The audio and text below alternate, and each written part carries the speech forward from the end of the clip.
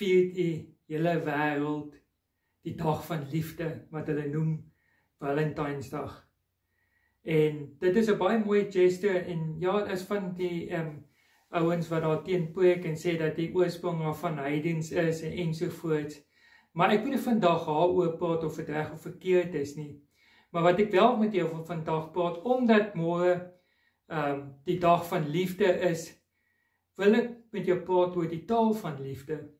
Want jy sien baie van ons as Christene het die taal van die die, die wêreldse taal van liefde aangeneem en wil ons dit koppel aan die Christelike storie van liefde en ek dink ons kan nie dit doen nie want die liefde wat van God afkom wat die bron van liefde is en die die, die taal van liefde wat die wêreld verstaan is twee heel verskillende dinge. Ja natuurlik is dit nie verkeerd om na môre vir jou vrou of jou man 'n rose en en chocolates te gee nie.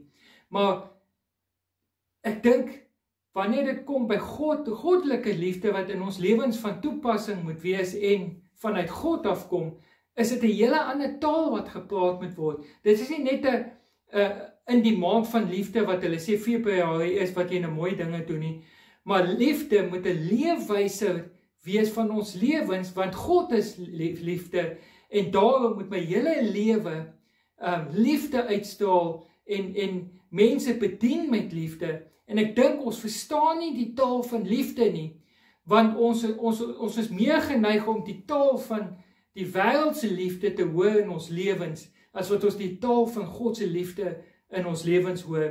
En daarom het ek gedink is goed om dit ons praat oor liefde, maar kom ons hoor wat ons moet doen om God se liefde, God se taal van liefde in ons lewens van toepassing te kry. En ek wil vir jou 'n teksvers lees wat 'n mooi illustreer van wat hier gebeur het waaroor gaan wat dit gaan oor God se liefde en dit is Net voordat Jesus gekruisig is, het hy met sy disippels bymekaar gekom en en hy het um, die laaste maaltyd met hulle gehou en daar het hy nou met hulle 'n paar dinge gesels en een van die dinge wat hy vir hulle gesê het is dat iemand in die in die groep wat daar teenwoordig is, gaan my verloon. En Petrus wat nou die uh, voorbok was van die hele groep, ehm um, nader die geliefde disippels soos wat die Bybel sê om uit te vind by Jesus wie dit sal wees.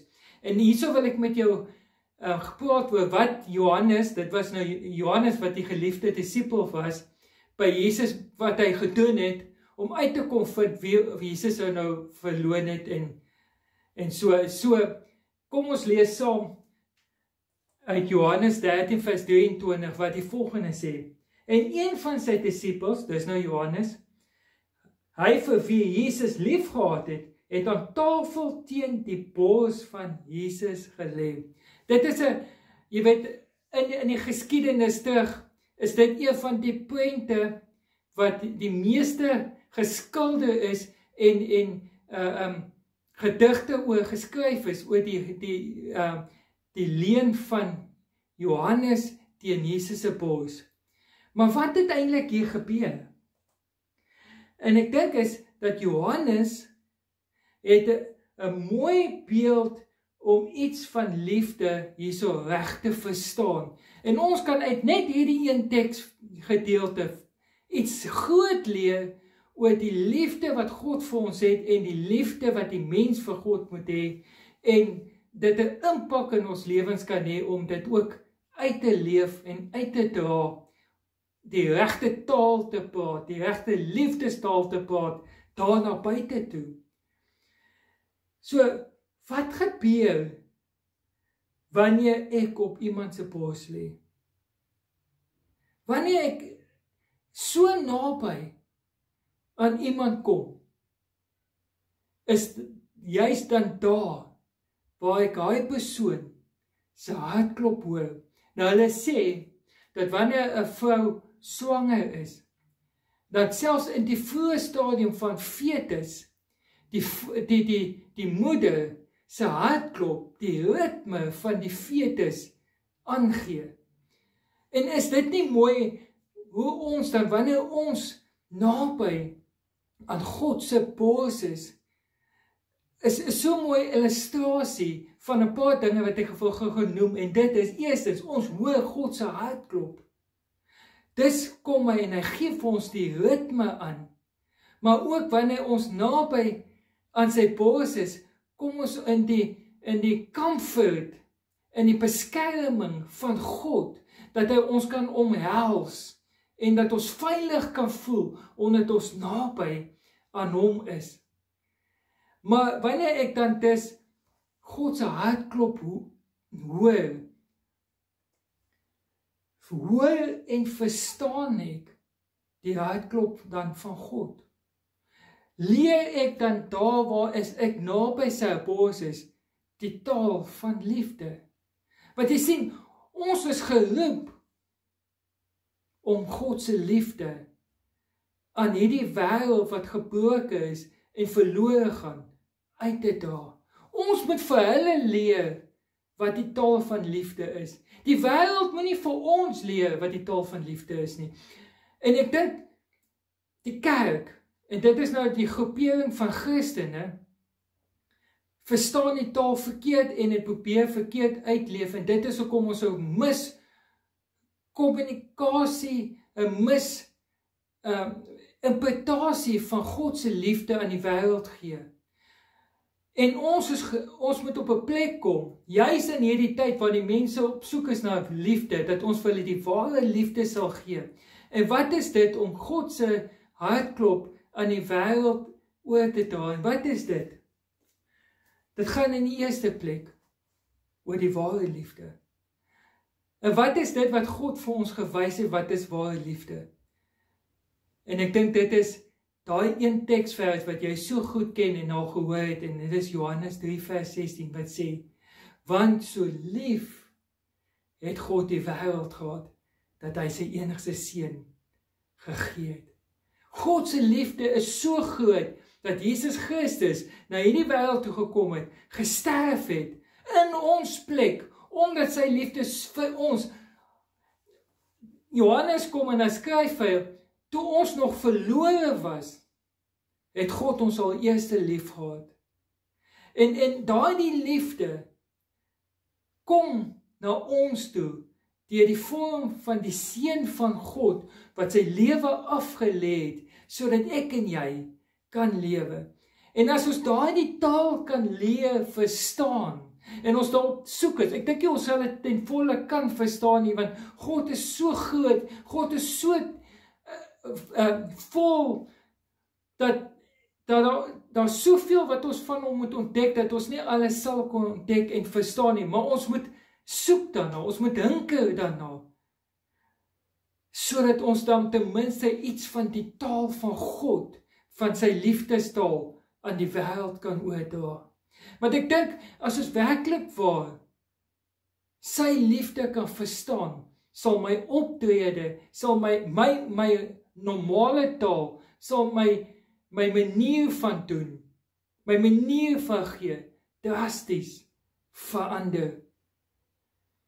En dan daai liefde gaan ook om oor na vergifnis toe. En ek het 'n bietjie gaan gedink want God het ons so lief gehad dat hy alles wat ek verkeerd doen teenoor hom. Want sonde is dit wat ek verkeerd doen teenoor God. Hy my vergewe. En en dat sy vergifnis so groot is dat hy dit heeltemal verwyder van die aangesig van hom dat hy nooit ooit weer daaraan sal dink nie. En ek dink baie keer ons as mense sê ons vergewe, maar ons vergewe nie want ons verstaan nie die taal van liefde nie. Want baie keer wil ons nie mense vergewe nie. Want ons het 'n grudge teen hulle en en ons wil nog uh, hou vas op hulle hê en of ons kan nie dit wat hulle aan ons gedoen het laat gaan nie. Maar dink 'n bietjie wanneer daardie persoon wat iets teenoor jou toe gedoen het, God se vergifnis vra. Wie is ek dan om nie ook daardie persoon te kan vergewe nie? As God dan hom of haar kan vergewe, maak nie saak wat daai persoon gedoen het nie. En God my vergewe, moet ek dan ook kan daardie persoon vergewe wat ook al daai persoon aan my gedoen het. Vergifnis gaan soveel meer en dieper as my gevoelens, as my my seer en my grudges wat ek teen mense hou nie. En daarom moet ek God vra om eersins die sy liefdestaal, sy liefde in my lewe uit te stort sodat ek kan vergewe soos wat God wil hê ek moet kan vergewe. Dan die ander ding waarmee ek wil afsluit en dit is wanneer ek die liefdestaal verstaan, sal ek dit kan verstaan teenoor mense in eerste plek, die mense naaste aan my, my my liefdesmaat. Ek sal anders te optree, ek sal anders te praat, ek sal anders te wees teenoor daai persoon. Nie net op Valentynsdag of in die maand van liefde nie, maar 'n leefwyse leef omdat ek daai persoon liefhet. Nie uit 'n liefde wat gekweek is vanuit wat die wêreld dink liefde is nie, maar vanuit wat van God afkom. Dan teenoor my kinders, teenoor my vriende, teenoor vreemdelinge. Want ek dink as ons werklik waar liefhet, sal ons soveel meer vir God doen. As ek werklik waar liefhet, sal ek na die wêreld toe gaan en die wêreld gaan vertel van God se liefde want ek wil nie hê dat daai mense verlore moet gaan nie. Maar wat doen ons? Ons leef so 'n selfsugtige lewe want ons het eintlik maar net lief geword vir onsself en dink dat ons die belangrikste is. Terwyl God se liefde sê van binne na buite toe en nie binne en dit bly binne nie. En dit is wat ek en jy moet verstaan oor God die taal van God se liefde.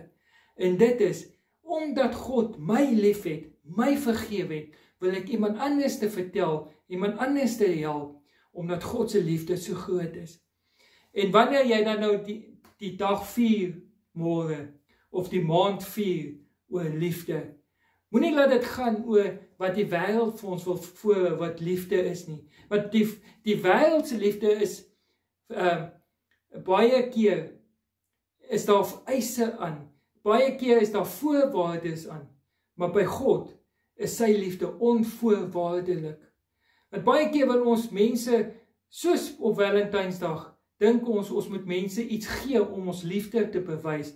Maar wanneer God ons liefde kom gee, dan stel hy belang in die persoon, wie die persoon is. Hy wil daai die persoon wie jy is en wie ek is, herstel. Hy wil daai die persoon optel. Hy wil daai die persoon verbeter. En nie net 'n klomp goed gee nie.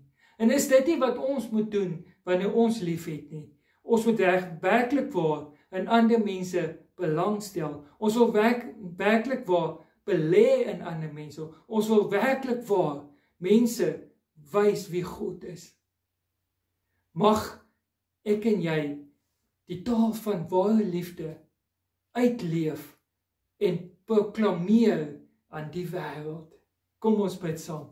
Here, baie dankie dat U so, so groot God is wat vir my wat stikkend en vuil is en wat dit nie verdien nie, so liefgehad het dat U U seun gegee het, maar ook dat hierdie lewe hierdie liefde my transformeer om 'n beter mens te kan wees. Dankie dat ons teen u bors kan lê soos Johannes en u hartklop kan leer ken om dit om om u hart te te verstaan en en en dit uit te leef. Help ons dat ons net die die die wêreld se liefde soek nie, maar dat ons God se liefde soek. En leer ons om lief te hê soos u. Net dankie daarvoor. In Jesus naam. Amen.